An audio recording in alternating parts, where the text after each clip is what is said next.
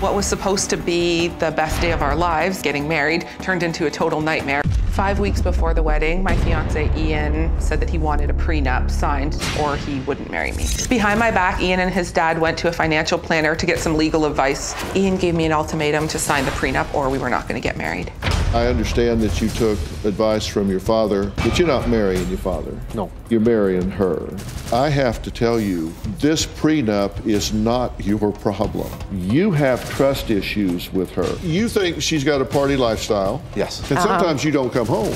That is true. I do drink. When Melissa drinks, she can drink to excess. Is this one of these family camping? We went to a music. Hey, That's a funnel, right? So you can get it in quicker. that's true. And how did this happen? It was dark and I missed a step and I fell and a bottle went through my hand. That could have happened sober though. That was just a tumble. On a family say? camping trip. I want a prenuptial agreement just in case Melissa does something irresponsible.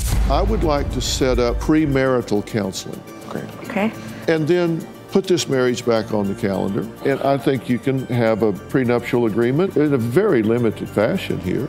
I also want to arrange a trainer and a nutritionist Yeah. so you can get yourself really in good shape and feel good about who you are.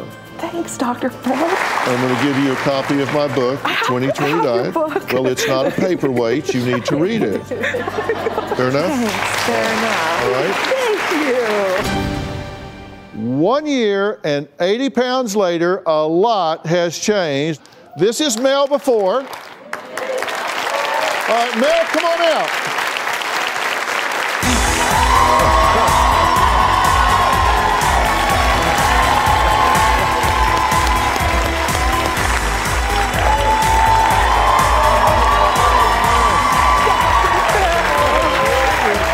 So to see you. Well, well.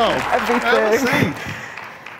Man, you look terrific. 80 pounds later, Dr. 80 Phil. pounds lighter. Yeah. He told me to stop using it as a paperweight. So Yeah. the moment I got home from LA, I got it out of my closet and I just started reading it chapter for chapter. And I followed the lists, the menus, and the weight just started falling off. Yeah. All right. How did it go for you when you started reading the book? The first five days are critical, the phase one. Um, I just followed it step by step.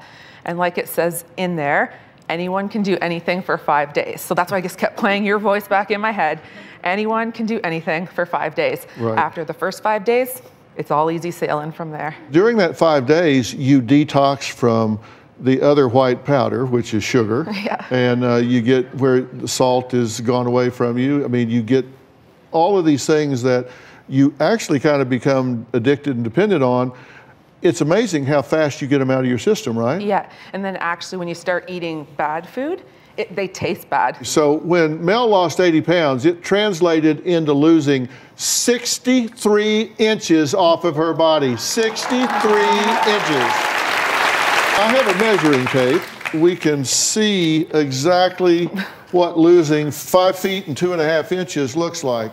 Oh. Let's see, there's one, two, three, four, five feet. That's five feet, two and a half inches right there. 62 inches. There you go. That's what came off of your body. Wow. Can you imagine that? I can't, you know, seeing Yeah. myself on your stage when I got home and watched the episode, I could hardly believe that I looked like that. Like I didn't, I did not acknowledge that I looked that bad. So it was a real wake up Yeah. call to me. There are so many pitfalls to weight management, self sabotage masquerading as celebration. You know, we always say, Oh, I've worked really hard, so I want to go out, let's go celebrate and eat two cakes. That's not celebrate, you're erasing all the work that you've done.